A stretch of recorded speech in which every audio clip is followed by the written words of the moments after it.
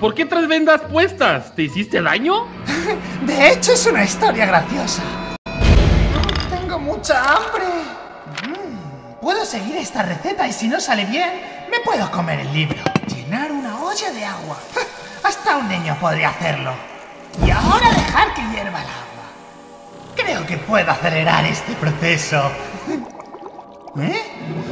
¿Qué son esas burbujitas? No le puse jabón.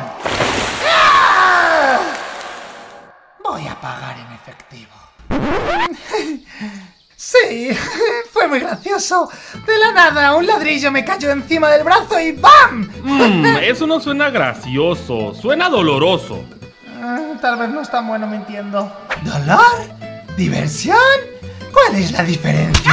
Uy, lo siento. Bueno, aquí estamos. ¿Eh? Entonces dime, ¿por qué extraña razón nos has traído al medio de la nada?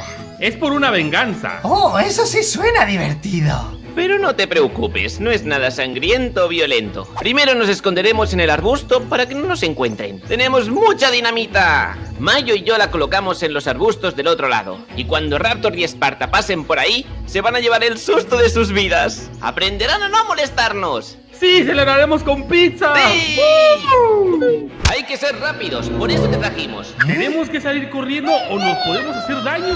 Queremos asustarlos, no explotarlos en pedazos. Solo hay que cuidar la distancia y estarán bien. Atentos, va a pasar por aquí en cualquier momento. Oh, oh, ¡Espera! Oye, ¿qué te pasa? ¿Qué te pasa a ti? ¡Estabas apuntando a esa ardilla! Entonces el mayo vino a comprármelo otra vez y yo le dije, no puedo. Pudiste hacerte daño. ¿Qué estás mirando? Oye, ¿viste eso? ¡Oh, no! Esparta, ¿estás bien? No siento mi cara. ¿Y tú, Raptor? ¿Estás bien? ¿Qué? ¡No te escucho!